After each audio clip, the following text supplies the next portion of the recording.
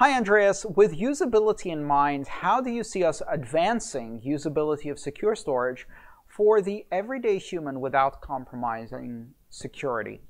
Um, honestly, Con, I think the most likely standard we're going to end up with in terms of secure storage is going to be some kind of social uh, sharing mechanism where uh, you take your seed mnemonic phrase or whatever source of entropy and you shard it into multiple shards uh, that have some kind of quorum, you know, a 3 of 15 or something like that.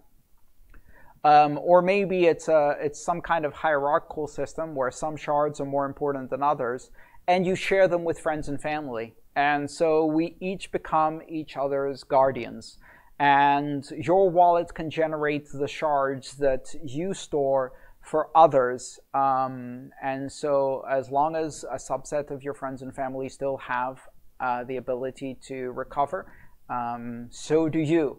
Uh, I think we're going to see a social mechanism like that that relies on a broad network of friends and family um, emerge eventually. There are some tricky aspects to solve.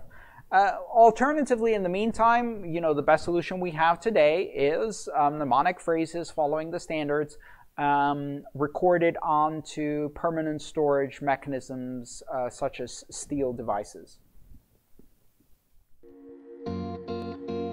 If you enjoyed this video, please subscribe, like, and share. All my work is shared for free, so if you want to support it, join me on Patreon.